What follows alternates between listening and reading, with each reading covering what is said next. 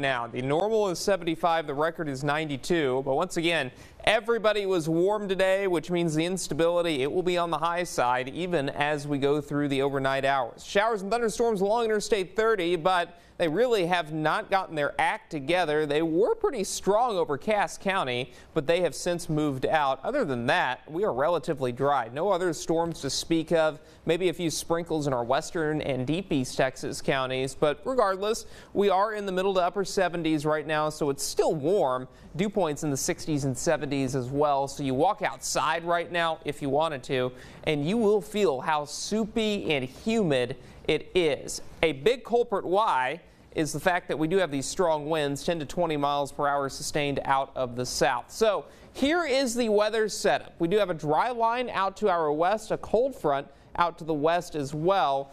That will provide us with enough lift for these showers and thunderstorms to get going a little later on tonight. So let's walk you through Futurecast because I want you to be in the know on when these storms may impact your area. So through midnight tonight, I think we're okay. We may see a couple of showers here and there. That's about it. But as we get closer to about 3 o'clock in the morning, we'll be tracking some of these individual cells over the Dallas-Fort Worth area as they move into our region. And there you go. This is 4 o'clock. A line starting to form from Waco to Corsicana to Terrell to Sulphur Springs. By 5, 6 o'clock, they're moving through Athens, Mineola, and just to the east of Sulphur Springs. And then this entire line moves off to our east.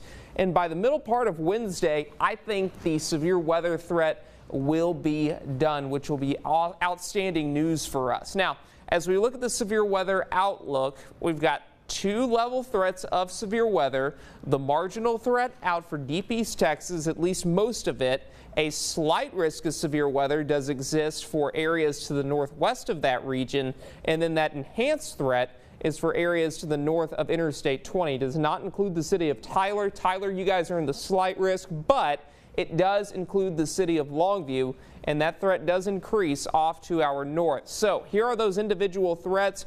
All modes of severe weather are possible, including damaging wind gusts, tornadoes, large hail overnight tonight. And if we get enough rain, flash flooding cannot be ruled